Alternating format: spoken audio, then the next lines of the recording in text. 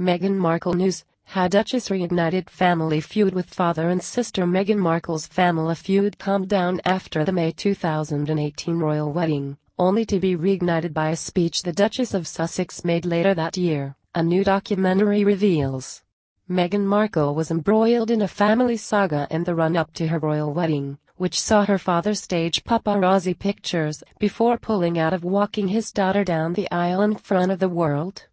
The Duchess of Sussex revealed how she was heartbroken by her father's actions, which also saw her relatives give interviews about how they she had blacklisted them from the wedding.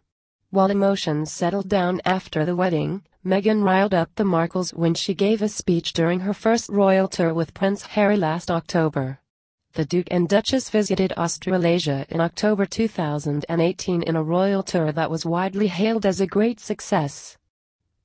During a speech in Fiji about education, Meghan said she had to support herself through university, a statement disputed by her half-sister Samantha.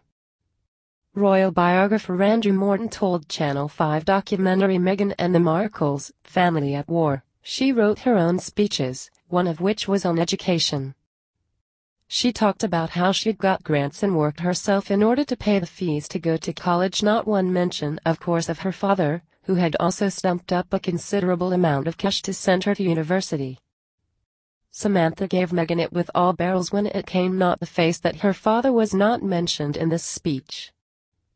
Meghan's half-sister Samantha Markle told the documentary, I saw that and the first thing either was, oh my god what did she just say? Dad paid every penny through kindergarten to university graduation. Samantha took to Twitter at the time of the Fiji speech to describe Meghan as delusionally absurd.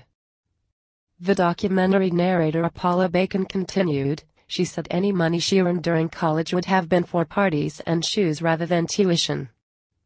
Earlier in the documentary, Mr. Morton explained how Meghan's University Northwestern is one of the most expensive colleges in America, if not the world. Something like $70,000 a year to go there. Editor of Majesty magazine Ingrid Seward, commented, I do think Samantha Markle has got a point, but she's just so unpleasant. I don't see why she feels she's gaining ground by being so unpleasant and telling us things which possibly are true but we don't really need to know them. In the latest of his barbs aimed at the Duchess of Sussex, Meghan's father Thomas released scans of a personal letter from his daughter to the British press. Royal expert Angela Mollard, in podcast Royals, commented, her father has deeply betrayed her. It's so tawdry. Ms. Mollard has also commented on Samantha Markle, saying, we know Samantha is just an attention-seeking hanger-on she revealed, opening bracket she closing bracket actually changed her name to Markle after Meghan got engaged to Harry, she wasn't even using that name. What do you think?